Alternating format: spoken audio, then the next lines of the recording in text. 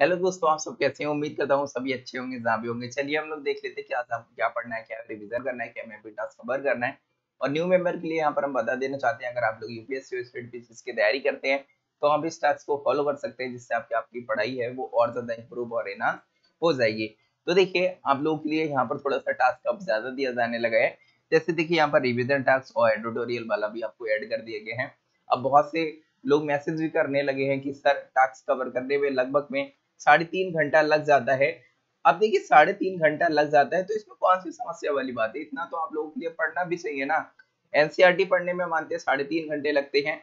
इसके अलावा हम डेढ़ घंटे और मान लेते हैं कि जैसे कि आपको न्यूज़पेपर या फिर आप जो भी करंट अफेयर वाली चीज़ें पढ़ते हैं, उसमें पढ़ने में आपको लग सकता है। और इसके अलावा हम और एक्स्ट्रा टाइम मान लेते हैं। जैसे आपको दो घंटे की हम लाइव क्लासेस देते हैं, इसका भी टाइम चलिए ऐड कर लेते हैं। इसके अलावा हम और मान लेते हैं कि आपको कभी कभार हम पढ़ने के लिए दे देते हैं या फिर आपकी थोड़ी ज़्यादा क्लास ले लेते हैं, पंद्रह बीस मिनट की ज़्यादा क्लास ले लेते हैं तो एक घंटा और ऐड कर देते हैं। तो देखिए आपको कितना हुआ टोटल ये देखिए आपको यहाँ पर पाँच घंटे देखने को मिलेगा, पाँच, दो, सात सात, एक, आठ आठ घंटे। यानी कि कम से कम आपको आठ घंटे तो पढ़ना ही पढ़ना है। अगर आप लोग एक साल के अंदर अगर अपना सिलेबस कवर करना चाहते हैं तो आप लोग चाहते हैं कि एक साल में हमारा सिलेबस भी कवर हो जाए और हमको इतना पढ़ना भी ना पड़े। आपको हम ज़्यादा कहाँ पढ़ने के लिए देते हैं? सिर्फ़ बोलते हैं कि आपको साढ़े तीन घंटे पढ़ना है, थोड़ा बहुत। न्यूज़पेपर के लिए आपको जाकर के पढ़ लेना है, बल्कि एडिटोरियल तो टास्क के अंदर ही इंक्लूड है आप लोगों का। और तो इतना तो आपको पढ़ना पड़ेगा ना। और आठ घंटे के अंदर आपकी क्लासेस भी ऐड हैं इसमें दो घंटे की। तो आप इतना कम पढ़ते हैं, फिर भी आप लोग कहते हैं कि, सर, बहुत पढ़ने के लिए देते, बहुत पढ़ने के लिए देते। तो आप ये नहीं देखते कि एक तरफ़ की आप एक साल के अंदर ही सारा सिलेबस भी कवर कर रहे हैं। तो इतना तो थोड़ा सा डेडिकेट होना पड़ेगा। ओके तो आप लोगों को अच्छे से सारा टास्क कवर करना है। एकदम परेशान नहीं होना है। इतना तो पढ़ना पड़ेगा। एनसीईआरटी तो एटलीस्ट अपने आप पढ़नी पड़ेगी। और सारी आपको लाइव क्लासेस है, वो हम तो प्रोवाइड करा ही रहे हैं, ओके? तो देखिए, यहाँ पर आज आपको, यहाँ पर आपकी तैयारी का इकतीसवा दिन देखने को मिलेगा और यहाँ पर दस दस अगस्त है। तो देखिए, आज आपको हिस्ट्री एनसीईआरटी क्लास एट्थ की, जिसका नाम है अबर पास थ्री इस हिंदी में इसको हमारा अतीत भाग तीन के नाम से जानते होंगे आप लोग।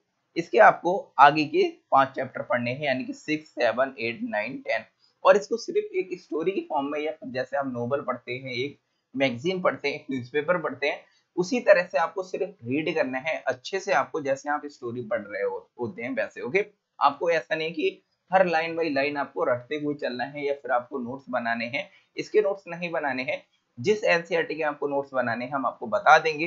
आपको हिस्ट्री के भी नोट्स बनाने के लिए दिए जाएँगे, लेकिन एट्थ क्लास की एनसीईआरटी के आपको नोट्स नहीं बनाने, क्योंकि इसकी जो मैक्सिमम चीज़ें वो आगे रिपीट होंगी तो हम वहाँ पर आप लोगों को नोट करने के लिए बोलेंगे ओके और इसके अलावा एक टास्क है, वो रिविजन टास्क देखिए, आपको जो टास्क नंबर वन दिया गया था, जिसमें कुछ मैपिंग लोकेशन दी गई थी, इसके अलावा जोग्राफी जोग्राफी क्लास सिक्स की एनसीईआरटी पढ़ने के लिए दी गई थी। तो देखिए, आधा आप लोगों के लिए कल रिवीजन करने के लिए दिया गया था, और आधा जो शेष आपका बचा है टास्क उसे आज रिवाइज कर लीजिएगा। टास्क देखिए यहाँ पर लिख देते हैं इसी तरह से हम ओके तो आपको आ, जो टास्क नंबर वन है वो आपको आधा रिवाइज कर लेना। आधा आप लोगों ने कल कर लिया होगा आधा आप लोगों के लिए कर लेना है।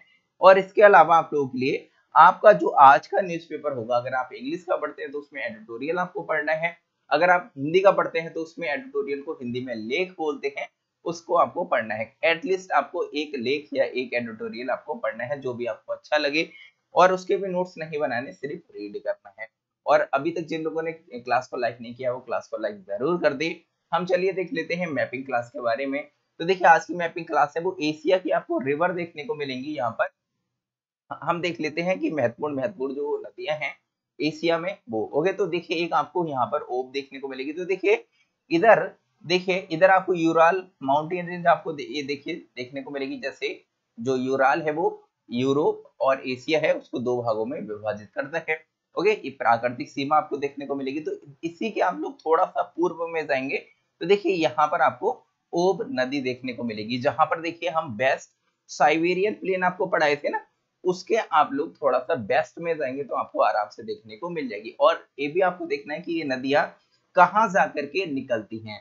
तो देखिए, आपको आरटी क्वेश्चन में आपको देखने को मिलेंगी कि ये सारी आरटी क्वेश्चन में जाकर के गिरती हैं जो अभी हम आपको बताएँगे। तो देखिए, एक तो आपको ओप देखने को मिलेगी, दूसरी आपको, देखिए एनिस आपको एक देखने को मिलेगी तो थोड़ा सा आप लोग और पूरब में जाएँगे तो आपको यहाँ पर दूसरी लोकेशन देखने को मिल जाएगी। फिर आपको लीना आपको देखने को मिलेगी थोड़ा सा आगे आप लोग जाएँगे तो देखिए आपको लीना तीसरी लोकेशन आपको देखने को मिलेगी A B R T question में ही जाकर के गिरती है। फिर उसके बाद में आपको देखने को मिलेगा, यहाँ पर कोयलमा आपको देखने को मिलेगा तो देखिए यहाँ पर कोयलमा, ये आपको यहाँ पर देखने को मिलेगी।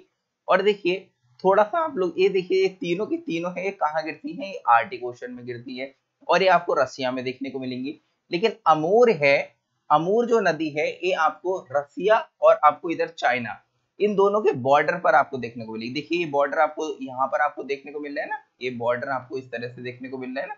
इसी बॉर्डर पर इस तरह से बॉर्डर बनाती है। यानी कि अगर आपसे पूछा जाए कि अमूर है, वो किन दो देशों के बीच में रेखा का सीमा रेखा का निर्धारण करती है? तो आपको ध्यान रखना है कि रसिया और चीन के बीच में सीमा निर्धारण करती है। ओके, इसी तरह से देखिए आपको हुआंगहो देखने को मिलेगा। तो देखिए, ये क्या है? रसिया और चीन की सीमा पर है और इसके बाद में जितनी ये रिवर है, ये आपको चाइना में देखने को मिलेंगी। ये वाली रसिया में देखने को मिलेंगी और नीचे वाली आपको चाइना में देखने को मिलेगी। ये सीमा पर है। तो देखिए आपको एक हुआंगहो देखने को मिलेगी, जिसको येल्लो रिवर के नाम से भी जानते हैं और इसी के लिए चीन का शोक भी बोलते हैं, क्योंकि इसके माध्यम से ऐसे आप लोग जानते हैं कि इस जो नदियाँ होती हैं, बहुत ज़्यादा त्रासदी लाती हैं तरह से बाढ़ लाती हैं तो उनको शोक के नाम से जाना जाता है। तो चीन का शोक इसको बोला जाता है। देखिए, आपको ये कहाँ पर देखने को मिलेगी? हुआंग हो तो ये आपको हुआंग हो ये वाली नदी आपको देखने को मिलेगी, ओके? और आपको वो ही खाड़ी एक पढ़ाई थे ना तो वो ही खाड़ी में ही जाकर के गिरती है। तो आप लोगों के लिए फिर प्रीवियस लोकेशन आपको कुछ ध्यान होंगे तो आप लोग आराम से रिवाइज कर सकते हैं। फिर देखिए आपको यहाँ पर चांग जियांग आपको देखने को मिलेगी। थोड़ा सा आप देखिए, ये हुआंग हो है ना? हुआंग हो से थोड़ा सा आप लोग नीचे आएँगे तो आपको देखिए यहाँ पर ये देखने को मिलेगी। ये चांग जियांग ओके ये कहाँ पर निकलती है? ये आपको जहाँ पर ईस्ट चाइना सी है और येलो सी है। इसके बीच में आप लोग देखेंगे तो वहाँ पर आकर के ये नदी निकलती है ओके और उसके बाद में आपको जीजियांग देखने को मिलेगी। जीजियांग और थोड़ा सा आप लोग घूमते हुए, टहलते हुए नीचे आएँगे तो देखिए आपको यहाँ पर जीजियांग देखने को मिल जाएगी, जहाँ पर आपको बैंकॉक देखने को मिलेगा ना। ताइवान से नीचे आप लोग आएँगे, थोड़ा सा ताइवान से नीचे। अभी ताइवान वाला क्षेत्र है, काफ़ी विवादित क्षेत्र भी आपको देखने को मिलेगा। यहाँ पर जो चाइना है, वो बहुत ज़्यादा मिलिट्री ड्रिल है, वो करते जा रहे हैं। तो आपको देखने को मिलेगा कि यहाँ पर हुआंग को है ना तो ये हुआंग हो काफ़ी इंपॉर्टेंट है। यहाँ पर ही आकर के ये नदी है, ये निकलती है। ओके तो इस तरह से सारी आपको लोकेशन है आपको ध्यान रखनी है, काफ़ी इंपॉर्टेंट आपको देखने को मिलेंगे। ओके तो आज का लेक्चर है, वो यहाँ पर ही फिनिश करते हैं। वीडियो को अगर आप लाइक करना चाहते हैं तो लाइक कर सकते हैं और शेयर करना चाहते हैं तो शेयर भी कर सकते हैं। ओके, और इसी तरह से आपको ये टास्क है, सुबह आठ बजे डेली मिल जाता है। अगर आप लोग हमसे जुड़ना चाहते हैं तो आप लोग व्हाट्सएप पे मैसेज कर सकते हैं। और आपकी जो लाइव क्लासेस हैं, वो दोपहर तीन बजे और शाम को छह बजे आप लोगों की लाइव क्लासेस भी चलती है।